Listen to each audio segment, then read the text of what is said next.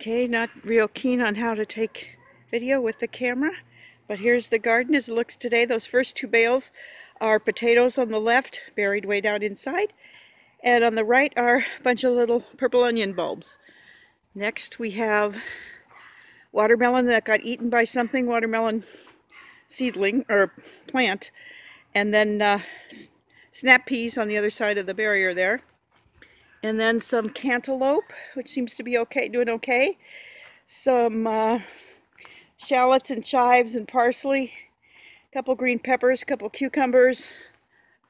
Whole bunch of tomatoes. Can't see if those are in the shot or not. Tomato plants, yep.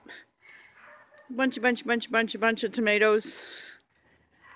And then strawberries which are my ones that I moved and some new ones I added and they are not uh, lush and filled in yet although there's some berries.